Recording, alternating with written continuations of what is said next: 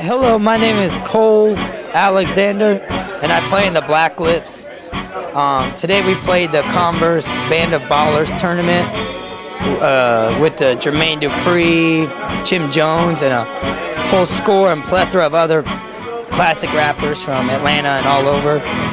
Um, it was an exciting experience for me because I, I play in a psychedelic rock band, and we're pretty far away from sports and and jock mentality and all that, but but this was kind of like a cohesion of sports and art coming together. So that was pretty cool.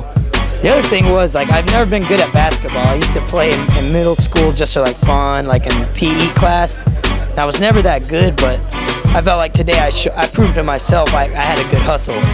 Like I, I, put a lot of energy in it. I had, I had really good defense. I'm pretty short. I'm like five six, and so. Uh, Spud Webb uh, from the Atlanta Hawks when I was growing up was always like a hero on basketball because he was short and he could slam dunk and do all this stuff. So today I felt like maybe if I keep putting my heart to basketball, like maybe I could like not play professionally, but like be able to play with some with some kids or something like on the street or something. I thought I thought I could learn something. Watching Hip Hop Enquirer TV